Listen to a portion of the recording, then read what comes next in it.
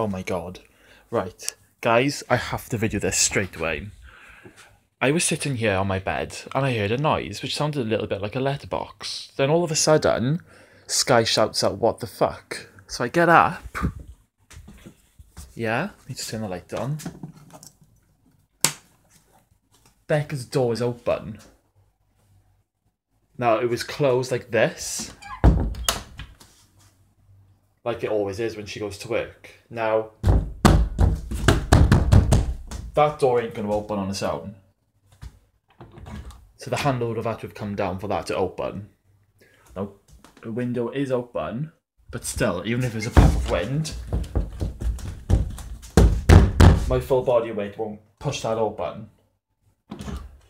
What's even freakier is Sky's poster then decides to rip down.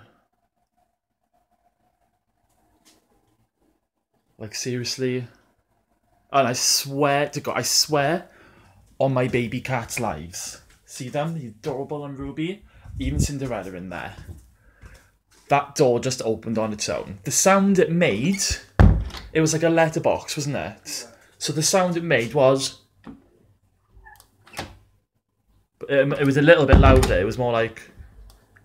And flung up. So, you know, like a letterbox. That's what it sounded like. And next minute, Sky's like, the door's open. And then he says his poster just came down. Like, what the hell? Seriously, this isn't a joke. I swear to God, this is not a joke.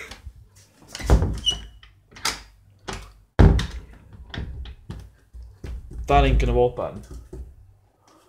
There isn't even any wind. I don't even know why I'm trying to think of things to justify how that could have happened, but it did.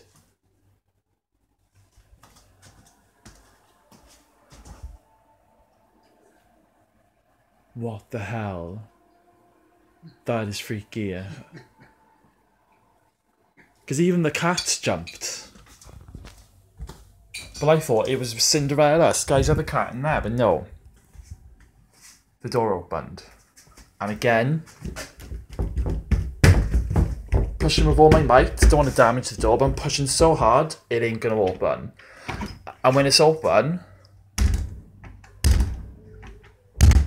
doesn't even close. You have to push the handle down. Freaky. There's a ghost in the house. There really is. and it was only about, six weeks ago. I got pulled out of my bed. But my bed was used to be by here. And the end of the bed was there. What the fuck, guys?